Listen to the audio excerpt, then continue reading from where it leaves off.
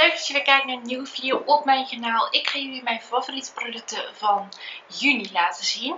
Uh, ik heb een doosje eigenlijk vol met producten. Ik zal hem niet schuin houden voordat alles eruit valt. En um, ja, ik ga jullie laten zien welke producten ik van juni nou echt heel erg fijn vond. Dus mocht je benieuwd zijn naar deze producten zou ik zeker zeggen, kijk even gezellig mee met deze video. Ik begin met een oogschaduwpaletje. Dat is deze. En dit is het To The Moon and Back Eyeshadow boxje. Uh, deze heeft de naam 04 One Way Only gekregen. Deze is van Essence. En hier staan ook een soort van, ja, ufo'tjes en zo op. Ik denk niet dat het heel goed zichtbaar is. Maar uh, dat is dit oogschaduwpaletje. Is een heel erg leuk paletje als ik hem open krijg. Ja. Um, er zitten verschillende kleuren in. In totaal zitten er uh, 10 kleuren in. Het zijn wel echt uh, hele poederige kleuren. Je ziet heel duidelijk waar ik gedipt heb. Uh, maar het pigment van dit palet is echt heel erg goed. Je hebt echt wel leuke kleurtjes. Je kunt hier wel echt leuke ooglooks mee maken. Eén nadeel vind ik, deze paletjes zijn heel erg breekbaar. De poedertjes die erin zitten ook. Dus als je hem zou laten vallen is die ook daadwerkelijk gewoon kapot. Uh, ik denk zowel het doosje als ook echt de oogschaduw. Want het is echt heel erg breekbaar. Maar um, ja, ik vind uh, de kleuren erin best wel pigmentvol. En je kunt hier wel leuke ooglooks mee maken. Dan heb ik een uh, oogmasker. Hij zit nu nog even in de verpakking. Dat heb ik even zo gelaten voor deze video. Deze komt gewoon van de Action. En deze heb je in uh, verschillende varianten. Ik ben voor de... Uh, volgens mij is dit watermeloen gegaan.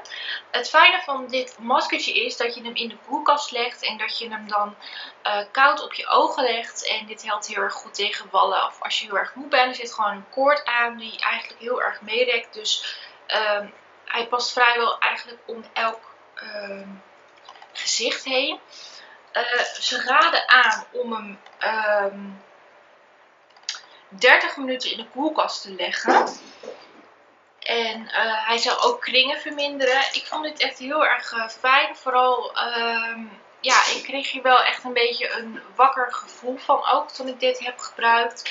Um, lekker verkoelend. Vooral als je echt zere ogen hebt is het echt heel erg fijn. En ja, ze zijn super goedkoop. Dus uh, echt een heel erg fijn oogmasker. Dan heb ik een gel topcoat. En deze is van de Iconails lijn. En deze is van Cartrice. Uh, de Iconails die zijn uh, volgens mij twee jaar geleden ongeveer in het assortiment bij Cartrice gekomen. En daar hebben ze nu dus ook een topcoat van. Um, in eerste instantie zouden die nagellak, uh, het is een, een, een nagellak die een gel effect geeft. Nou, ik vond hem dus zonder topcoat en zonder basecoat, want zo zou je die nagellak kunnen gebruiken, echt totaal niet fijn. Want het was er zo weer af en dan belooft het ook echt 7 dagen te blijven zitten. Nou, dat werkt bij mij echt voor een meter. Met deze topcoat belooft hij 10 dagen te blijven zitten. Ik zal hem er ook even uithalen. Um, ik zal heel eerlijk zeggen, 10 dagen houdt hij absoluut niet. Maar ik vind wel dat hij dagen mooier blijft zitten als uh, zonder topcoat. Heeft ook zo'n dubbele dop, zeg maar. Dus dit is gewoon het dopje. Het is een uiteraard um, transparante topcoat. Maar ik vind nu die, die kleurtjes echt veel beter blijven zitten uh, uh, met het gebruik van deze topcoat erbij. Nogmaals, de 10 dagen haalt hij echt niet. Maar um, ja, zeker vier dagen bleef bij mij mooi zitten. Het ligt natuurlijk ook aan hoeveel dat je doet en hoeveel je met je handen werkt. Maar uh, ja, ik, ik was eigenlijk wel verrast dat het veel beter bleef zitten uh, met gebruik van deze topcoat. Dan heb ik van Essence de Brighten Up Peach Powder. En hier hadden ze natuurlijk al een banana powder van. Die vond ik al heel erg mooi. En er is dus uh, ook een peach powder van gekomen. Deze heeft de naam Team Peach Me Up gekregen. En dit is ook een poeder die je heel goed zou kunnen gebruiken om uh, te beken bijvoorbeeld. Hier, hier achterop staat ook een kleine tutorial uh, waar je de poeder um, zou kunnen gebruiken. Nou, ik ben iemand, ik hou niet zo van het baking effect. Dus ik ga niet met een sponsje hele lagen aanbrengen. Ik gebruik hem ook mijn gehele gezicht. En mijn make-up bleef er eigenlijk goed door zitten. Um, Je ziet dat peach effect niet heel erg goed terug op je gezicht. En dat vind ik op zich wel fijn. Want ik had bij het swatchen zeg maar wel echt een beetje een, um, peach effect zeg maar op mijn arm zitten. Maar toen ik de poeder aanbracht zag je daar niks van terug. Dus dat was wel heel fijn. En hij zet mijn make-up eigenlijk gewoon prima. Dus ja, gewoon een, een, een fijne poeder met ja, een zachte tint. Al zie je die, zag je die bij mij niet terug. Maar misschien is dat voor iedereen heel uh, verschillend. Of dat je um, het peach effect terugziet, ja of nee. Dan heb ik van Catrice de Pure Pigments liplakker. En ik heb deze in de kleur 040. Mijn pink is pop-in. Dat is dit lipproduct. Het is eigenlijk een lipgloss, want hij geeft een hele mooie glans. En deze is echt heel pigmentvol. Ik weet niet hoe het bij de andere kleuren zit, maar deze was echt heel erg mooi. is echt een hele mooie kleur. Um, nou ja, hij belooft hoog gepigmenteerd. Hij valt onder liquid lipstick. Uh, met een shine finish. Nou, die zie je echt absoluut terug. Hij is ook waterproof. Um, nou moet ik zeggen, hij is waterproof. Absoluut. Maar hij geeft wel af. Je moet wel heel erg boenen um, als je je make-up eraf haalt om hem eraf te krijgen. En ik weet ook niet of dat hij een hele dag blijft zitten. Want ik ben niet iemand die een hele dag of tot s'avonds laat lipproducten draagt. Maar op zich vind ik hem wel echt heel erg goed. Ik zal eventjes ook uh, de applicator laten zien. Heel smal, maar brengt heel fijn aan. Je ziet ook al gelijk dat hij heel veel product opneemt. Dus dat is heel erg fijn. Um, ja, ik ben echt heel erg tevreden over deze liplakkers. Misschien dat ik er nog wel meer aan mijn stash zou willen toevoegen. Maar het ligt er wel echt aan of dat de kleuren echt bij mij passen. Want ik hou wel echt van die fel gepigmenteerde kleuren. En dat is deze echt absoluut. Dan heb ik van Essence de You Better Work Gim proef primer. Dat is deze primer. Zit in een wat andere verpakking als wat je misschien normaal gewend bent van Essence. Maar deze valt dus echt onder uh, het mom van heel geschikt voor sporten en zo. Hij belooft uh, te zijn, bevat SPF 20 en heeft een instant blur effect. Dus dat is heel erg mooi op foto's bijvoorbeeld. Er zijn 30 ml in dit tubetje. Het is een blauwe primer. Ik ga kijken of ik het kan laten zien nou ja, je kan het denk ik niet zo heel goed zien. Er zit een kleine opening in, maar je ziet misschien heel iets blauws. Maar de primer is blauw. Als je hem goed inblendt zie je daar niks meer van hoor op je gezicht. Een heel klein effectje, maar op zich als je daar gewoon met je foundation overheen gaat, is daar geen enkel probleem meer mee. Um, ik moet heel eerlijk zeggen, ik sport niet. Dus ik heb hem niet kunnen testen met sporten, maar wel met warm weer. En ik merkte wel dat mijn make-up echt veel beter op zijn plek bleef zitten, doordat deze een zweetproef effect heeft. Um, die SPF 20 vind ik ook gewoon heel erg fijn dat hij die bevat. Dus ja, ik, uh, ik vond dit echt een hele fijne primer. Vooral met warm weer. Maar zeker denk ik ook als je een warme dag hebt. Dat je misschien op stap gaat. Dat je toch make-up wil gebruiken. Als je deze primer eronder doet. Dan merk je al veel minder van het zweet effect. Dus echt een hele fijne, fijne primer. En um, ja, ik ben eigenlijk wel benieuwd of die ook daadwerkelijk helpt bij sporten. Misschien dat uh, jullie hem hebben getest. Um, uh, en wel sporten, dan ben ik wel benieuwd of hij dat dus ook doet. Maar daar kan ik dus zelf niks over zeggen, omdat ik niet sport. Dan heb ik een lippenstift. En deze komt van AliExpress. En dit is de Miss Rose. Deze zat ook in een doosje toen die aankwam. Het is een matte lippenstift. En ik heb hem in de kleur 35 Fashion. Ik zal hem er even uithalen. Um, zo ziet hij eruit een beetje een, een uh, ja, ronde huls, zeg maar, met gouden letters erop. Die waarschijnlijk heel erg aan het shinen zijn, waardoor je het bijna niet kunt lezen. Maar dit is de lipstift. Hij ruikt heel lekker, totaal niet chemisch of zo. Hele mooie matte lipstift, blijft goed op zijn plek zitten. Um, ik vond deze wel al iets droger als de vorige lippenstift die ik heb geprobeerd van AliExpress. Maar op zich zou je dat natuurlijk ook gewoon prima kunnen verhelpen door er bijvoorbeeld een uh, ja, lichte niet gekleurde lipgloss overheen aan te brengen. Dan wordt hij al gauw wat minder droog. Maar wel een hele mooie uh, lippenstift met een hele mooie kleur. Dus daar ben ik ook heel erg blij mee. Dan heb ik van iHeart Makeup de Peach and Glow. En dat is dit paletje. Dit is een Highlight en Illuminator duo. Ik zal hem er even uithalen. Ik ben dol op dit soort paletjes. Ik verzamel ze ook allemaal omdat ik ze allemaal even prachtig vind. Zo ziet deze eruit met overloop van een beetje wit naar ja, peach. Is eigenlijk gewoon een peachy. Ja, zo heet het natuurlijk ook Peach Glow. Achterop staat de naam ook nog. Het is altijd wel handig. Mocht je meerdere van dit soort paletten hebben, nou ja, kun je ze vaak wel onderscheiden qua kleur. Maar goed. Um, er zit een klein blaadje op, wat eigenlijk altijd is. Er zit een grote spiegel in. Vind ik heel fijn. En dit zijn dan de kleuren. Dit is echt puur een highlighter. En deze kun je zowel als highlighter gebruiken als blush. Um, als je hem als highlighter gebruikt moet je deze heel goed inblenden. Want hij is echt heel pigmentvol. Dus als blush waarschijnlijk ook. Maar het zijn echt twee hele mooie producten die je heel mooi terugziet. Deze heeft natuurlijk drie kleuren. Deze kun je los van elkaar gebruiken. Maar ook zeker gecombineerd. Die highlighter. Ik vind dat los gebruiken altijd een beetje lastig. Want het zijn natuurlijk best wel dunne strookjes. Uh, van kleuren. Dus meestal gebruik ik het gecombineerd. Maar echt een heel goed gepigmenteerd palet. Wat ik eigenlijk ook gewoon gewend ben van iArt Make-up. Dus ook echt weer een heel erg mooi paletten. Dan heb ik van Essence deze Super Last Eyeliner. Deze is Deep Black en belooft 18 uur te blijven zitten. Hele fijne eyeliner.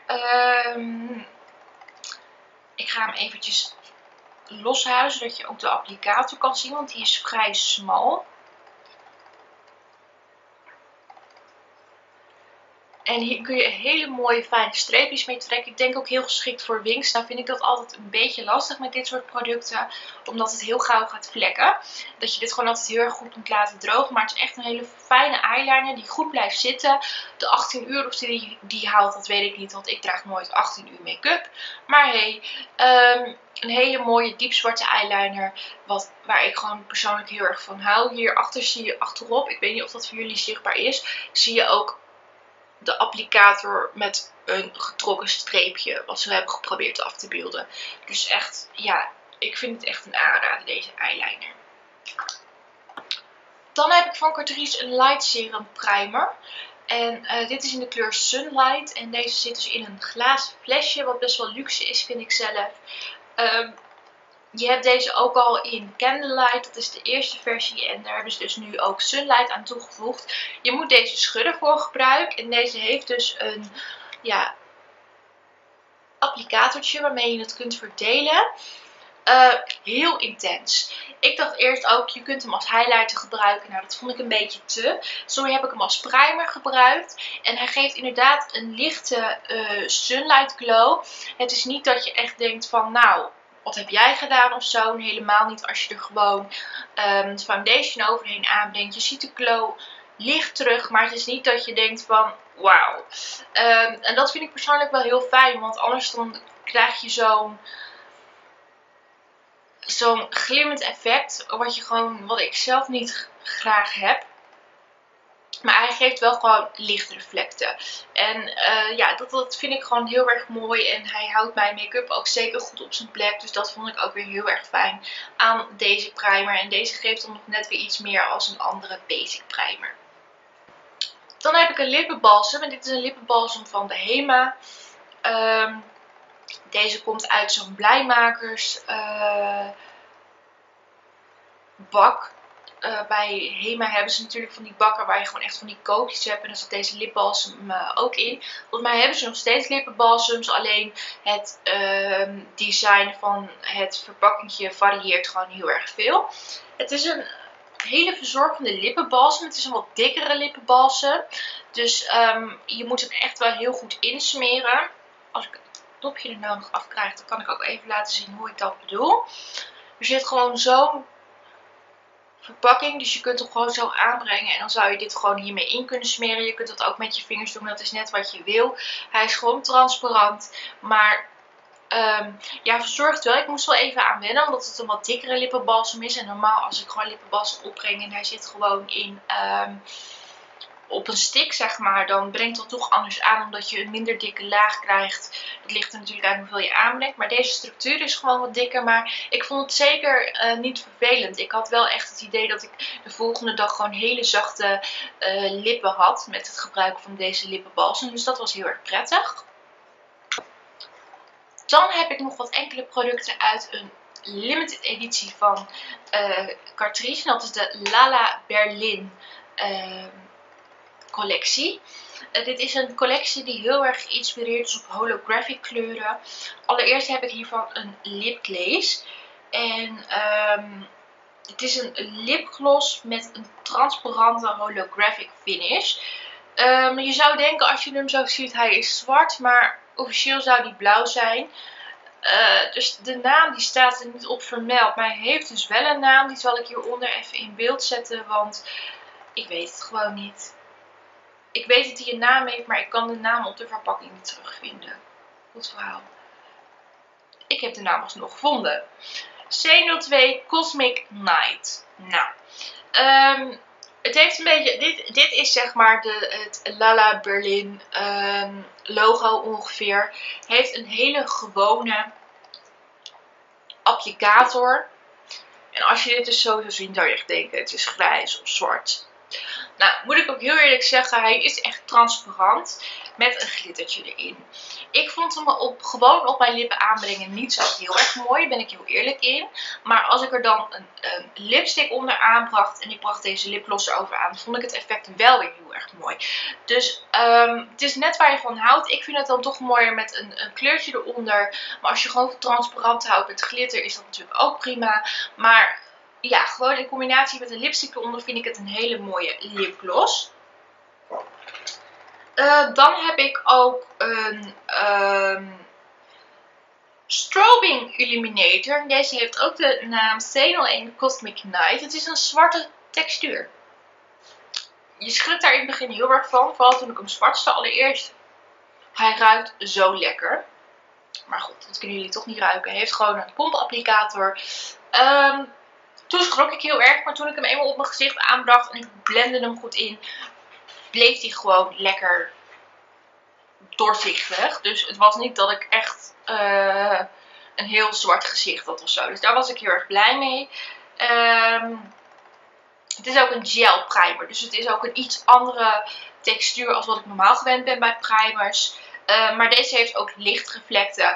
Maar helemaal gewoon ja, zag ik dat niet zo heel goed terug, die lichtreflecten. Maar gewoon met je, met je make-up eroverheen werd het eigenlijk prima. Een hele mooie, uh, fijne primer gewoon die ja, eigenlijk mijn make-up prima op zijn plek liet zitten. En dat vind ik dan nog belangrijker. Of dat hij dan echt dat licht reflecterende effect heeft. Ook al belooft hij dat.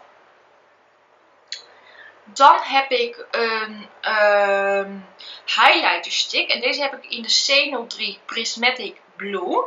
Ook deze heeft weer dat holographic effect zo.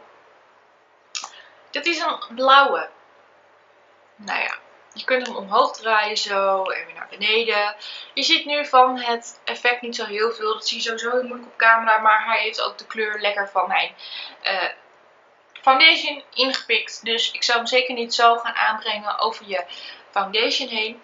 Um, deze is ook heel geschikt om onder foundation aan te brengen. Omdat hij gewoon heel goed gepigmenteerd is, blijf je de kleur gewoon zien. En dat vond ik heel erg prettig. Uh, goed uitblenden heb je echt wel een soort van holographic effect. Omdat het echt wel een heel mooi gezicht was. Ik was er een beetje bang voor, blauwe kleur. Hmm, niet zo mijn ding, dacht ik eerst. Maar uiteindelijk vond ik het toch wel heel erg mooi. Dus uh, ja, ben ik ook wel heel erg blij met deze highlighter stick. Prismatic Paint heet het officieel. Dus maar dat je het weet. Nou, dan zaten er ook nog um, holographic eye strips bij. Nou ja, die laat ik wel even zien. Die heb ik verder niet getest. Deze kun je volgens mij op je ogen plakken. En dan krijg je weer een heel erg leuk effect mee. Dus misschien leuk voor een feestje. En deze. Ja, het is een, het is een kwast, zeg maar. Dus deze kwast. Met ook holographic erop. Dus dat is wel heel tof. En dan heb ik het Prismatic paletten. En dit is een oogschaduwpaletten. Heeft de naam C01 Prismatic Persian. Ook weer zo'n mooi holo effect. Maar dat zien jullie niet op camera. Dat vind ik zo jammer. Heeft een spiegel binnenin. Dit zijn de kleuren. Uh, je zou in eerste instantie denken van hmm, die, deze en deze lijken heel erg op elkaar. Maar dat is dus absoluut niet zo. Want deze heeft uit eindelijk een beetje een roze gloed. Ehm, best wel gepigmenteerd. Heel erg leuk om dat zo eens te proberen. Helemaal denk ik ook als je een feestje hebt of zo. Dat je denkt, goh ik wil een keer wat anders. Is dit gewoon heel erg leuk.